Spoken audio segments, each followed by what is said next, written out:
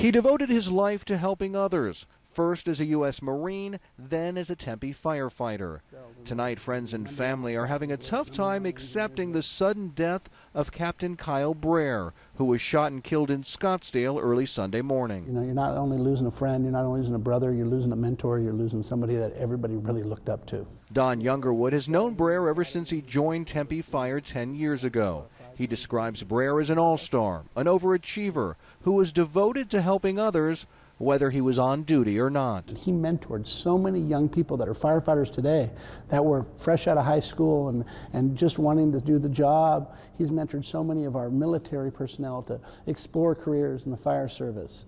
Um, Kyle is just, he was just an outstanding individual. And we can identify these veterans and get to them. One of the things Captain Brer was most passionate about was helping fellow veterans, especially those in need. A few years ago, Brer was instrumental in launching a telemedicine program in Tempe that helped vets suffering from diabetes, mental health issues, or chronic pain get the long-term care they needed.